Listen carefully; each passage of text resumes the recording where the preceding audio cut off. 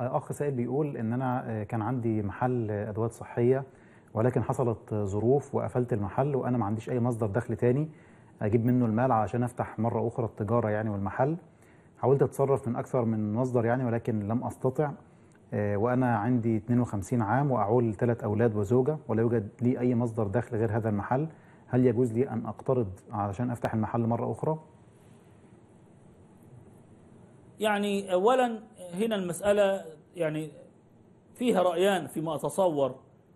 لا لا أنقل عن ناحيه في أحد فيها لكن أتصور في تصوري أن في هذه المسألة اتجاهان يعني.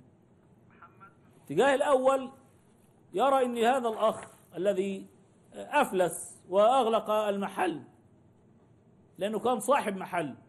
هل شرط أن الإنسان الذي بدأ حياته بصاحب دكان أن يظل طوال عمره صاحب دكان؟ يعني افترض لا توجد بنوك ستقرضه. لأن ليست عنده ضمانات. ماذا سيفعل سيبحث عن عمل. سيبدا بدل أن كان صاحب محل أو مدير كموظف. ثم يجمع مالا ويبدأ من جديد. إنما بعض الناس يتصور إنه هو اتولد غني لازم أفضل طول عمري غني. اتولد مدير لازم أفضل مدير. فإذا يعني يعني الحياة تغيرت بي وانتقلت من الإدارة إلى أن يكون لست صاحب ملك فيحل لي الربا أو الحرام بإنه ده ضرورة. لا هي الضرورة لما تتعلق بضرورات الحياة. يعني إنك أنت والله جالك عرفين ربنا عارفين مرض. وليس عندك مال. وعملية يا تعيش يا تموت دي ضرورات حياة. ولم تجد من يقرضك القرض الحسن. أنا أقول لك ضرورة حياة. فمن اضطر غير باغي ولا عاد.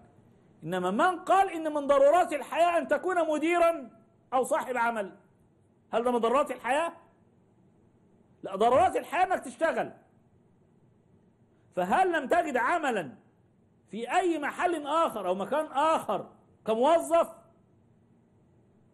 هي دي المسألة. الرأي اللي يقول لك لا والله لأنه هو آه، ليعمل والكذا. طيب بس ده إحنا دخلنا على إطار وده اللي أنا بميل إليه الرأي الأول. دخلنا في إطار إن إحنا حولنا رفاهية الحياة أو البرستيج المستوى اللي عايز يظهر بيه بالحياة بإنه يبقى آه، ضرورة. لا ده مش ضرورة. أي نعم. أي أنا اليوم أمس كنت شغال في وظيفة وياما رأينا رؤساء أقسام في جامعات آه. وجاء الانقلاب والناس خرجت غيروا مسارهم العملي واشتغل موظف عادي. صحيح. ما الأزمة. فاللي أنا أقصده دي مش ضرورة حياة.